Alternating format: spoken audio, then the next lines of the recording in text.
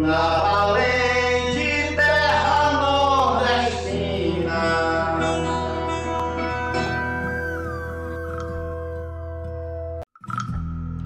Com registros do fotógrafo sírio Benjamin Abraão Calilboto, esse vídeo lembra Lampião Virgulino Ferreira da Silva, o rei do cangaço, e seu bando. A iconografia produzida por Benjamin, registros fotográficos e filme, não é a única sobre o cangaço, mas por sua extensão contribuiu enormemente para o conhecimento da história dos cangaceiros no Brasil. É uma comprovação visual da marcante estética dos bandoleiros da Caatinga e os trouxe para os jornais e a imaginação popular. Logo, os personagens do cangaço passaram a protagonizar lendas do sertão, canções e cordéis populares, e apesar de sua violência, Lampião tornou-se para muitos uma espécie de Marte dos oprimidos. As notícias chamavam a atenção para a crueldade dos cangaceiros ou a sua bravura. Seriam bandidos ou heróis? Outros fotógrafos registraram os cangaceiros e as volantes, forças especiais para combater o cangaço. Foram eles Alcides Fraga, Chico Ribeiro, Eronildes de Carvalho, Lauro Cabral e Pedro Maia, todos na década de 1920. Há também imagens de autoria desconhecida. Cerca de um ano após a morte do padre Cícero, de quem Benjamin havia sido secretário particular, ocorrido em 20 de julho de 1934, Benjamin levou a Ademar Bezerra de Albuquerque sua ideia de fotografar e filmar Lampião e seus cangaceiros.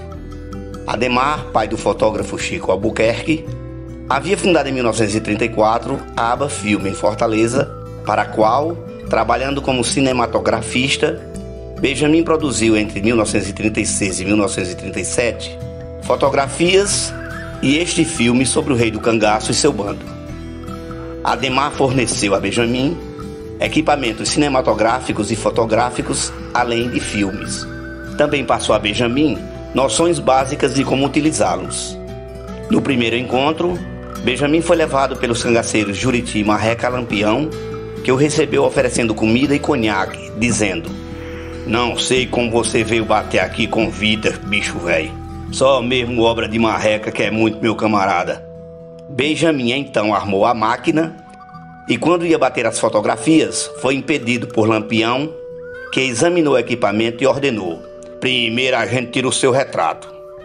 Depois disso, Benjamin pôde fazer seus registros, até ser interrompido por Lampião. Uma observação: na matéria do Diário de Pernambuco, um dos cangaceiros mencionados como tendo levado Benjamin a Lampião foi Mergulhão. Em janeiro de 1937, Benjamin esclareceu que tratava-se de marreca.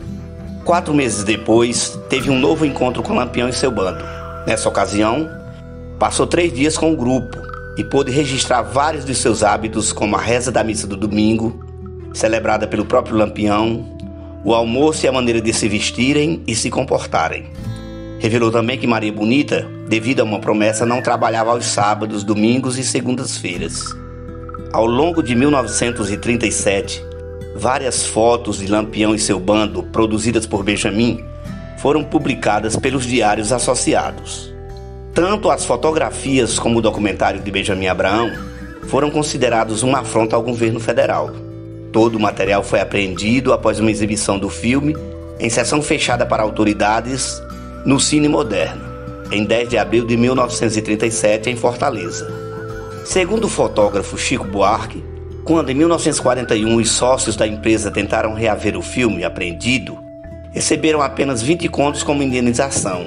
Segundo Ângelo Osmir Barreto, muitos anos depois, os negativos do filme e das fotos foram encontrados empoeirados e jogados em um canto qualquer de uma sala de repartição pública.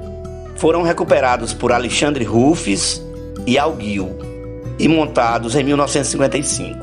Posteriormente, a Cinemateca Brasileira recuperou as imagens e encontrou aproximadamente mais cinco minutos do filme original. Segundo Ricardo Albuquerque, filho de Chico Albuquerque e neto de Ademar, depois o material foi reavaliado e novamente montado seguindo um critério estritamente documental do filme. Nas palavras de Elise Jasmin, Lampião era manipulador, estrategista, dotado de um senso inato de comunicação soube como poucos se utilizar do poder da fotografia, em especial quando estampada nas páginas da imprensa, que ajudavam a torná-lo onipresente. E mesmo perto do fim de sua carreira, quando, depois de aterrorizar sete estados nordestinos, optou por uma vida sedentária, sua imagem circulava em grande parte do sertão, com um corpo figurado que vinha substituir simbolicamente o corpo real do guerreiro que antes percorria a região. Segundo o historiador Frederico Pernambucano de Melo, autor do livro Guerreiros do Sol, um clássico sobre a história do cangaço, não há dúvidas que Lampião foi derrotado e morto pelas forças policiais em julho de 1938. Porém, sua derrota não teria sido completa. Se perdeu militarmente, o rei do cangaço foi vitorioso esteticamente. Seu chapéu e uniforme cheio de ouro e detalhes bordados estão entre os principais símbolos do Nordeste brasileiro. E não por acaso, seja em uma visão romantizada ou através do repúdio, Lampião continua sendo alvo de fascínios. Jornal do Comércio, 20 de outubro de 2015. As cenas filmadas por Benjamin do cotidiano do Bando de Lampião, das quais retratam aproximadamente 15 minutos, inspiram os filmes o Cangaceiro, de 1953, dirigido por Vitor Lima Barreto, e O Baile Perfumado, de 1997, de Paulo Caldas e Lírio Ferreira. Em 2013, o Instituto Moreira Salles adquiriu, junto ao Instituto Cultural Chico Albuquerque, o direito de uso dessas imagens para fins culturais. Os homens do cangaço espalhavam fama, violência e aplicavam um conceito muito particular de justiça em sete estados do Nordeste: Ceará, Rio Grande do Norte, Paraíba, Pernambuco, Alagoas, Sergipe e Bahia.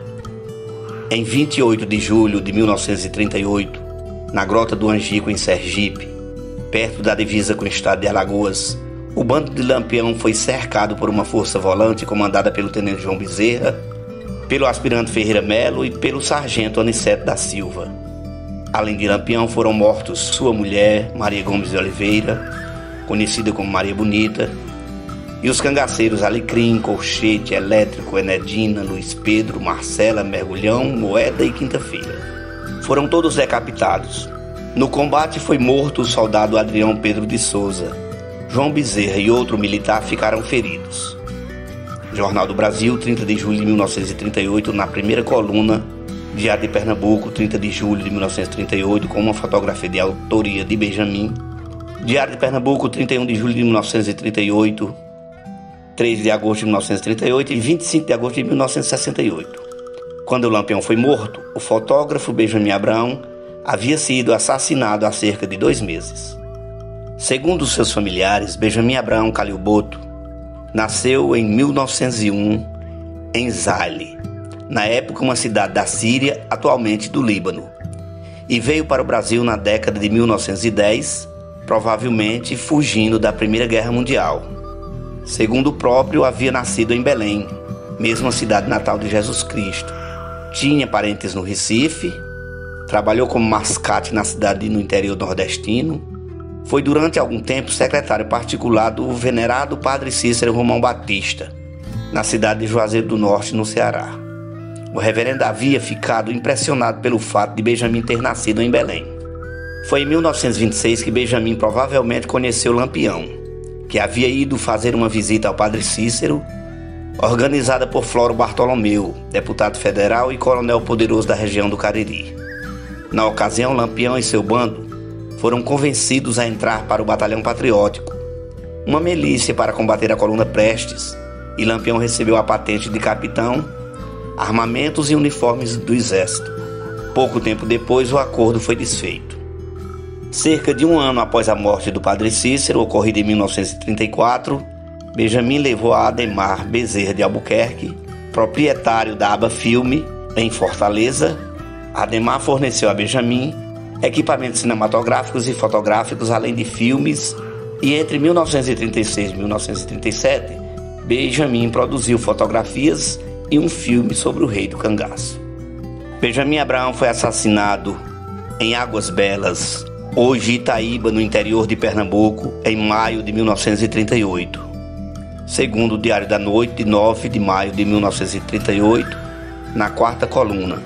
Diário de Pernambuco, 10 de maio de 1938, na quarta coluna, e Diário de Pernambuco, 19 de maio de 38, na quinta coluna. Os motivos de sua morte ainda não estão esclarecidos. As hipóteses vão desde crime passional até queima de arquivo, já que ele sabia do envolvimento de autoridades com Lampião.